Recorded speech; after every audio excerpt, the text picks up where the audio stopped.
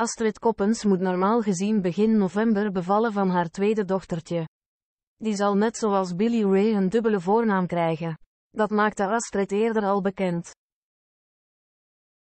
Nu deelde de onderneemster ook een prachtige foto van haar bolle buik. Op de foto is te zien hoe de driejarige Billy Ray de buik van haar mama liefdevol vasthoudt terwijl ze haar hoofdje op haar buik laat rusten.